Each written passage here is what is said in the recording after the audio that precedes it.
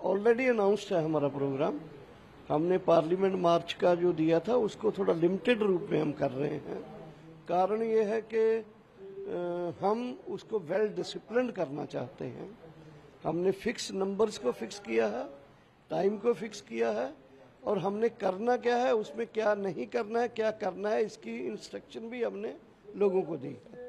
और इसमें हम 200 किसानों का जत्था पार्लियामेंट की तरफ़ जाएगा बसों में जाएँगे चार बसों में और बसों में जाके वहाँ पार्लियामेंट स्ट्रीट में जाके मतलब के रुकेंगे, वहाँ अपनी किसान संसद करेंगे और किसान संसद में हम जो खेती बाड़ी, एग्रीकल्चर, एग्रेरियन क्राइसिस और ये जो तीन कानून, एमएसपी वगैरह के मुद्दे हैं, इनके ऊपर हम डिस्कशन करेंगे।